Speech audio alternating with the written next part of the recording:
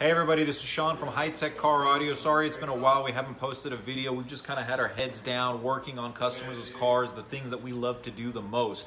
And right now I want to show you something that's been in the shop for definitely a little over a month, but um, it's, it's a specimen of a system.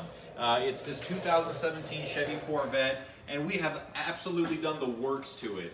Uh, to, to, give you a, a, explainer of what we did and the amount of work that went involved, I'm going to hand this off to Will. Many of you know Will. He's uh, he's one of our one of our prime. Everybody is over here, but Will, go ahead, take it away, break it down for us. What do we do on this car? Hey guys, so first to introduce myself again as Sean recently did. My name is Will, High Tech Car Audio. So this Grand Sport Vette got the extreme makeover. So we got two 10 inch uh, JL Audio shallow subs so we can get enough airspace for the woofers, but still have enough room to be able to lay everything else out in here.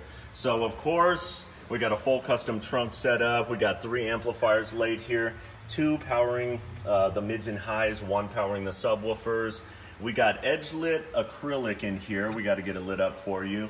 Nonetheless, we have a three-way front stage. So we have six front speakers. There's two tucked away in the back here.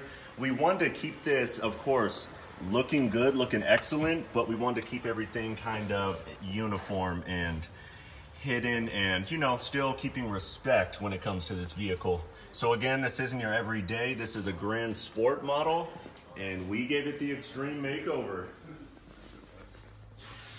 Yeah. Yep. So back here, yeah.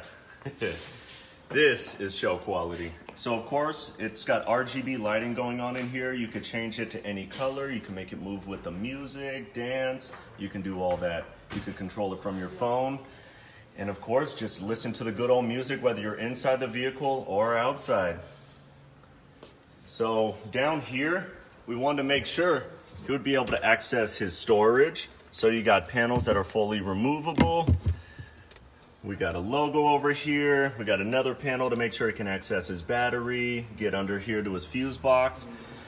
This job was well thought through and uh, that's high-tech car audio for you. Any guy, anyways, thanks for talking to me. I'll talk to you guys later.